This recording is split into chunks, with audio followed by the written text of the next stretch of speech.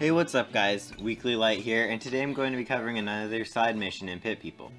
So today's side mission is called Now Recruiting, and you get it from Mr. Whispers. So Mr. Whispers shows up on your map, and he's a very important NPC who gives you a whole boatload of missions. And this is just one where you have to recruit an Electrobot. So you have to find a specific Electrobot near him, I think, that has the cage icon. So I started looking around and I couldn't really find him, so I looked up north, I looked south, and uh, it'll just cut to when I found him. He's slightly southeast of Mr. Whispers. So yep, it cuts here and there we are. It, this is just like really close, just the clouds were covering it, so I couldn't find him. And I was afraid that I would have to record me wandering around for a couple minutes looking for an Electrobot. So this is just a standard recruiting fight. Um, there's nothing special about it, so I just, it's on double speed right now. So you can just see my team just melting this poor guy here. Um, yeah, just boom. I think that's half his health gone right there. So then I can start dealing with the other things. So luckily there's three Electrobots here, and you only have to capture one.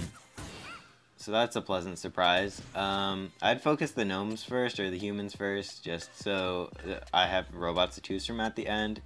Uh, if you don't have a troop with a net or a Spydar, you might be out of luck for this mission. So always, always have something to recruit when you're out in the wild. Um, yeah, the cages are preset there, and they're always going to be on the robots, so you, you, won't. They won't be targeted by AI-controlled stuff. I think, like the snakes and whatnots. And they'll consciously not attack them, hopefully. Um, so basically, it just once again just a standard recruiting fight. I'll just let it play out.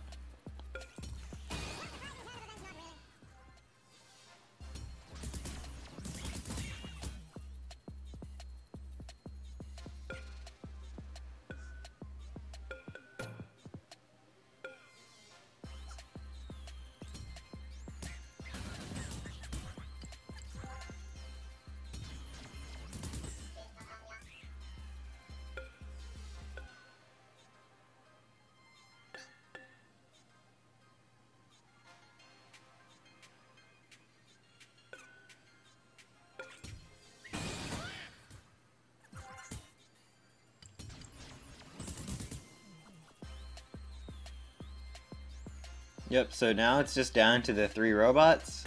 So it's really easy, you're pretty much guaranteed re to recruit one as long as my Spydar doesn't take too much damage.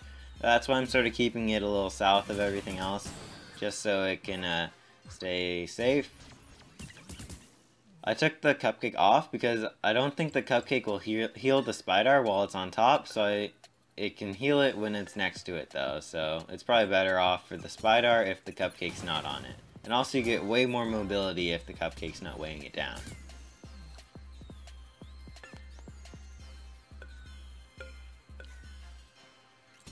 I didn't think I would get to keep uh, the Electrobot that I got for Mr. Whispers, so I just picked a random robot and caught him.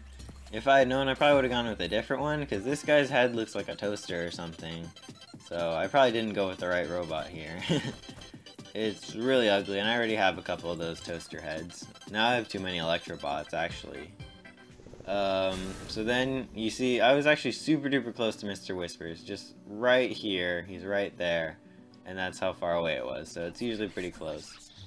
And then he says something about using it as a calculator, and then the Electrobot changed completely, like the toaster head's gone, and it's now just a monitor head.